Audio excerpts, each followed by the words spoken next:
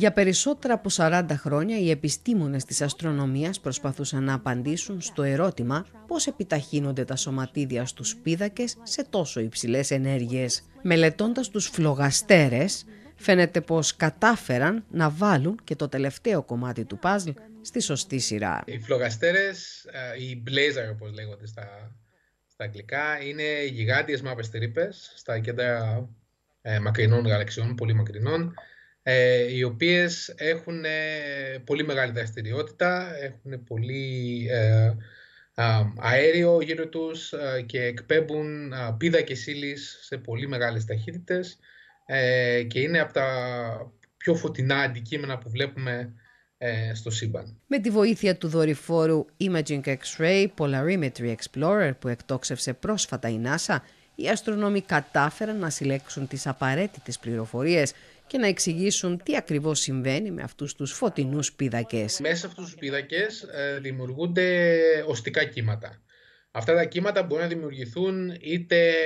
επειδή υπάρχουν ε, μεταβολές στην, στην εξωτερική πίεση και πυκνότητα στο μέσο γύρω από τον πίδακα, είτε επειδή το πλάσμα που κινείται μέσα σε αυτό το πίδακα κινείται με διαφορετικές ταχύτητες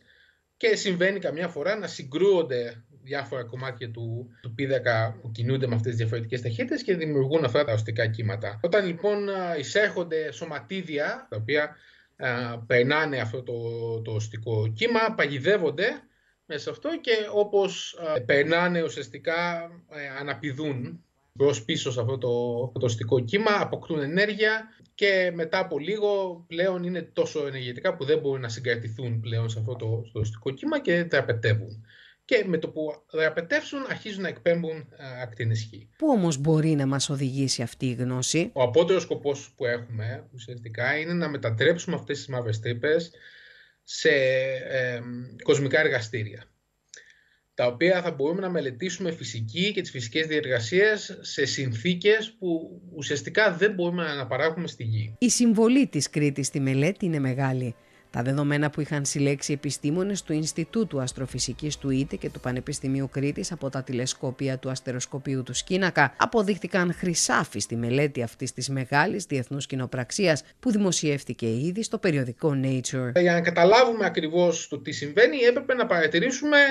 όχι μόνο στα ακτινεσχή που το κάνουμε το δορυφόρο και στο οπτικό και στο, ε, στο ραδιοφωνικό μέρος του φάσματος. Η συνεισφορά εδώ πέρα λοιπόν, του Σκινάρα τώρα την, για αυτή τη συγκεκριμένη δουλειά ήταν διπλή. Μία ήταν ότι